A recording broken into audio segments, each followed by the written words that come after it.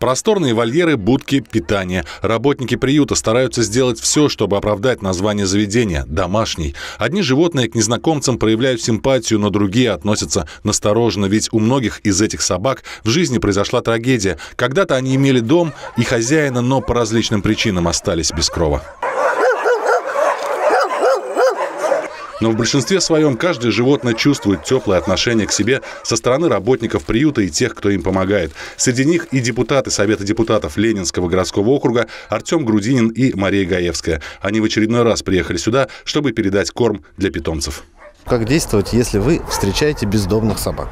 Прежде всего, вы сейчас должны написать на э, портал сайта Добродел.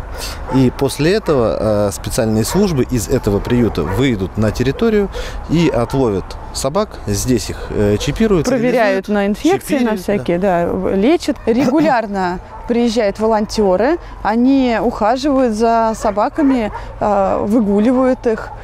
В настоящий момент здесь проживает более 700 собак и 100 кошек, и время от времени эти цифры корректируются в сторону убывания, что не может не радовать. Благодаря работникам приюта и волонтерам ежегодно более 350 питомцев находят новых хозяев приют прежде всего приезжают э, жители и нашего района, и города да. Москвы и э, забирают собак к себе домой.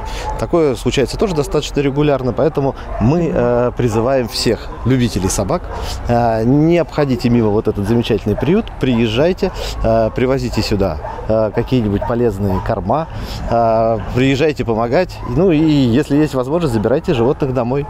Если вы решите обзавестись мохнатым другом или оказать помощь животным, нет ничего проще. Приют домашний находится в поселке Измайлово, а телефон и адрес без труда можно найти в интернете. Максим Козлов, Екатерина Довлятова. Видное ТВ.